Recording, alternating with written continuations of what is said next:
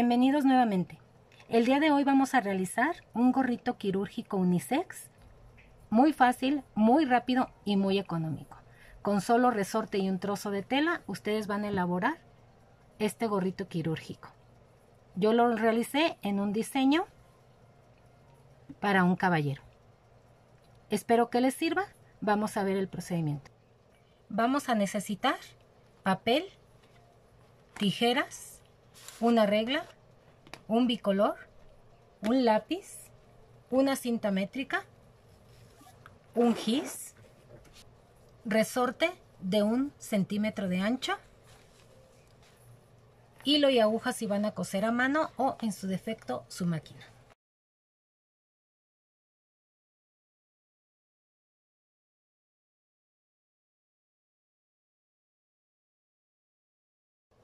El círculo que estamos trazando tiene una medida unitalla, pero me han estado preguntando mucho cómo sacar una medida más exacta, es decir, a la talla de la persona para la que lo quieran. Me voy a apoyar con este modelito que tengo aquí para explicarles de dónde van a medir. Para sacar la medida personalizada de un gorrito circular, vas a medir desde el inicio del lóbulo de tu oído pasando por la parte de atrás de tu oído, siguiendo por la parte más alta de tu cabeza, hasta llegar al inicio del lóbulo de tu otro oído. Esa medida será la medida del círculo. Aquí me da 24 centímetros. Esta sería la medida exacta para sacar un gorrito circular. A esa medida únicamente le vas a agregar un centímetro de costura o dos centímetros si lo quieres un poquito más holgado.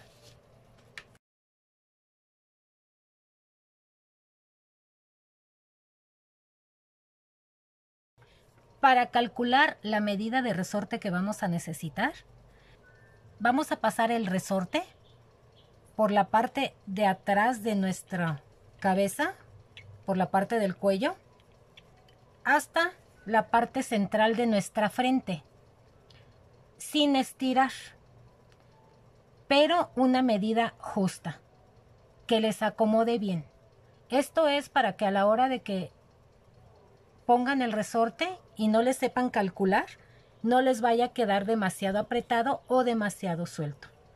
Esta es la forma exacta de sacar la medida de resorte para tu cabeza a esa medida, como te digo, no la debes de dejar floja, tiene que quedar justa y la vas a dejar sin centímetro para costura.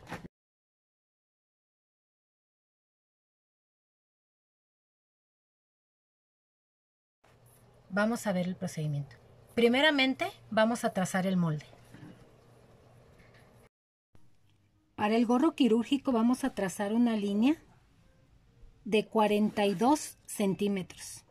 Si tienen esta regla grande, apóyense con ella.